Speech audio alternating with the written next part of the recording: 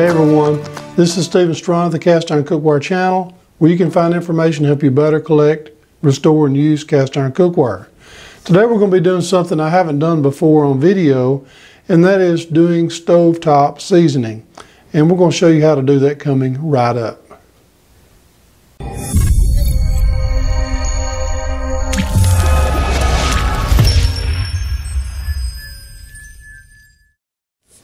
Occasionally you may want to reseason a skillet or a piece of cast iron, just one piece, and not have to go through the process of heating up the entire oven just for one piece.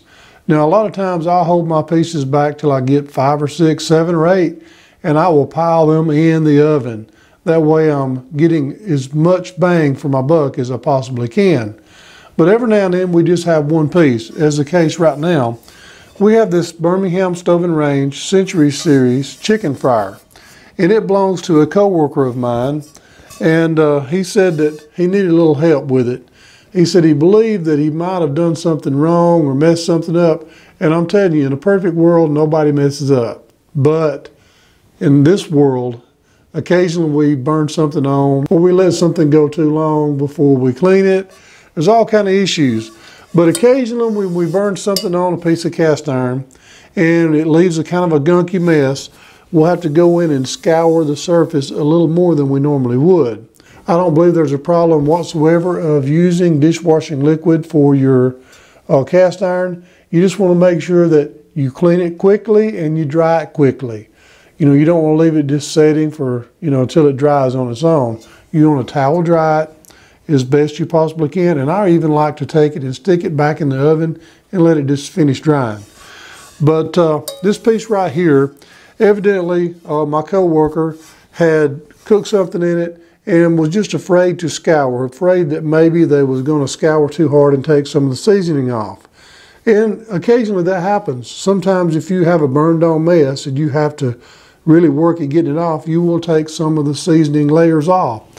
This in here is not too bad. Some of the layers had to come off, but we have some, you know, kind of inconsistencies where different uh, foods have been cooked on. You have a little bit uneven layers of seasoning. We're going to fix that. We're going to do it on the stove top, and we're going to do that right now. Okay, we'll get our pan on the stove top, and as you notice, we have a glass stovetop. You can do this on any kind of stovetop. We're going to cut it on low to medium. As you see, we have a spinner, and uh, and we don't want to make it worse. So we're going to heat it up really, really slow.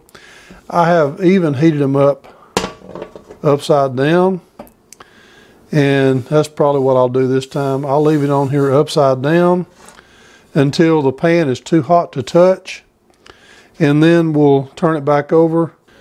We want the sides and the bottom to be evenly heated.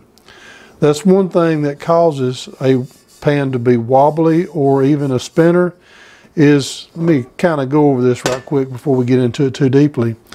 When you heat up a pan, especially a Dutch oven type or a uh, chicken fryer like this, when you cut it on too high to begin with, all the heat starts to radiate out from the center, but initially all the heat is right here in the bottom and it actually expands somewhat.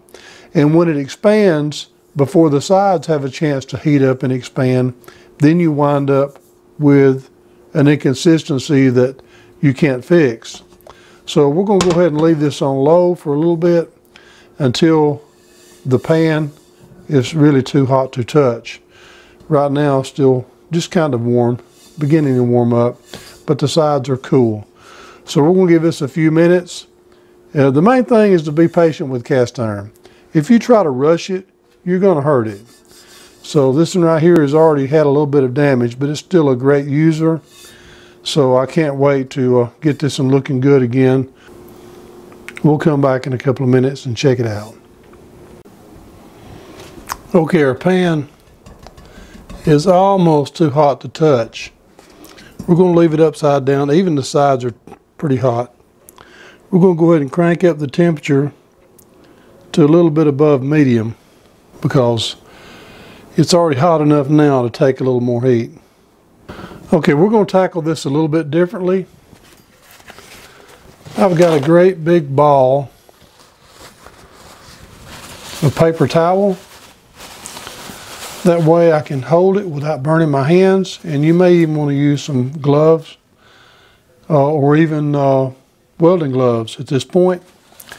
Now everybody knows that my favorite seasoning is Buzzywaxx, but for this case I'm going to use a spray bottle of grapeseed oil. And the reason why is we don't want to get burned. If you're trying to rub that buzzy puck on there over and over, you're going to burn yourself. So we're just going to spray. And you can also use oven spray. That works really nice as well. But uh, we got some good heat going on. We're on. We're going to raise it on up to about medium or a little better than medium because our pan is already very, very hot. It's just not smoking yet. So we're going to leave it upside down. That way the temperature will work its way through the entire pan without being too hot in one place on the bottom. It'll be evenly distributed. And really the entire pan doesn't need it. Give it a spritz with our grapeseed oil. By the way, Buzzywaxx uses grapeseed oil and canola oil along with beeswax. And I really like the effect of that combination. We'll turn it back over till we start seeing a little bit of smoke. Wipe a little oil on the back of it. That way when it does start smoking, we'll know it. We'll know we've reached that point.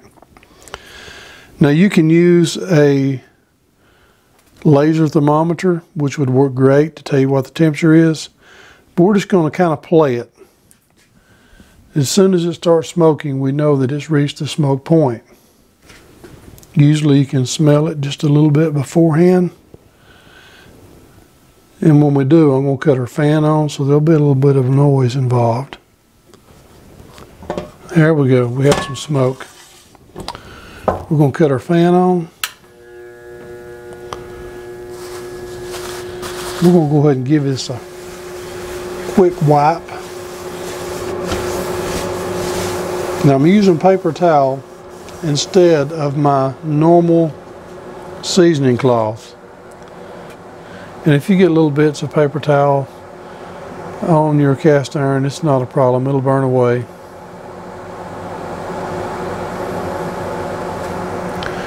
We're going to go ahead and crank our heat up to between medium and high. Now we will back it back down here in just a minute. As soon as it starts smoking, we don't want to get way up above the smoke point. We just want to kind of ride the wave. Okay, here we have some smoke. We're to give it a spritz. Going to wipe it in.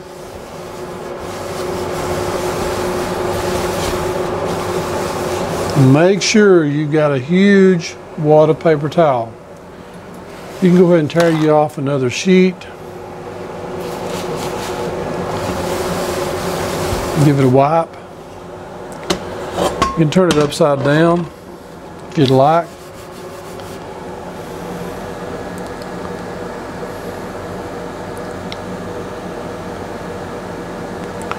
We're going to back it back down to medium.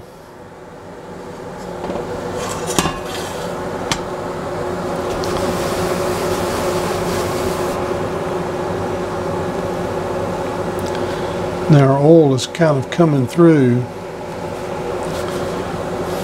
Now be careful, this part is going to be very hot. That's why I say get a large wad.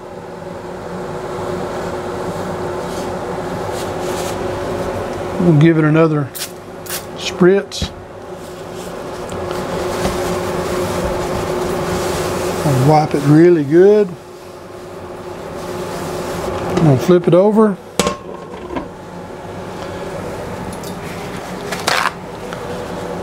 Get us another piece of paper towel.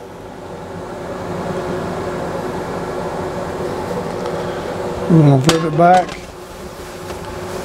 Give it another good wipe. Flip it back upside down because the stovetop is hot. Now if we leave it setting the other direction, we're going to actually burn the seasoning off of her bottom. And we don't want to do that. And if the smoke dies down just a little bit, you can raise the temperature a little bit.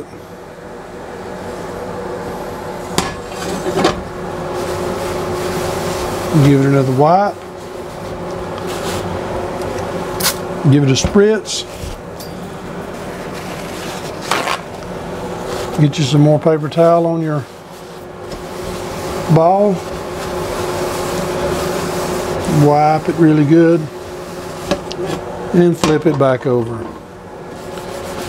We'll give the back a wipe while we're at it. Now the sides on this pan is still in great condition. So we're not really going to worry so much about the sides.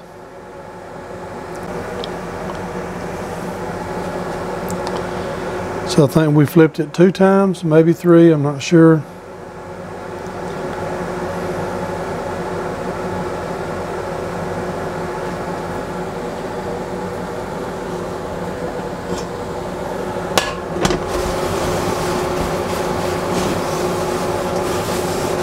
Another wipe and flip it back over. Go ahead and give it a little bit of a swipe on the bottom.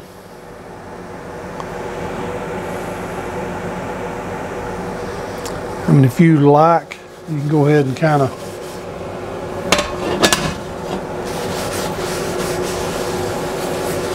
go over the whole thing.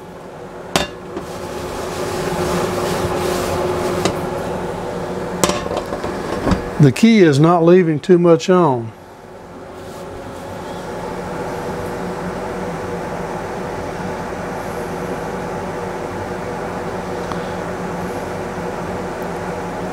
Now we're not seasoning the whole pan, just the cooking surface and a little bit on the bottom.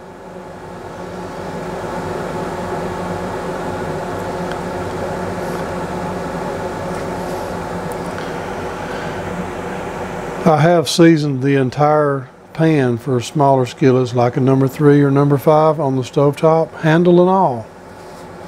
But you got to be careful though, you will get burned. While we're waiting, we'll go ahead and add another layer to our, our wipe down ball here.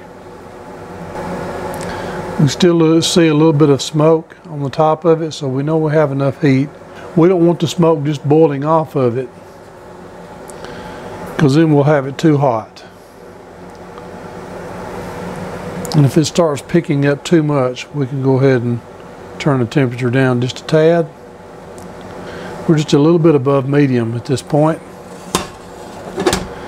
Let's give it a spritz and then try to remove every bit of it with your cloth. And if you would like to go ahead and add another piece of paper towel, it's not a bad idea. Okay, let's flip it back over.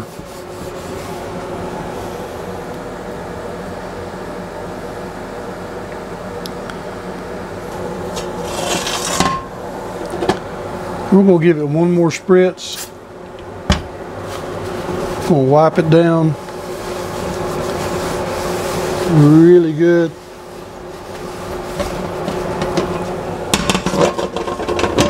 Flip it over. And we're gonna go ahead and cut our stove top off.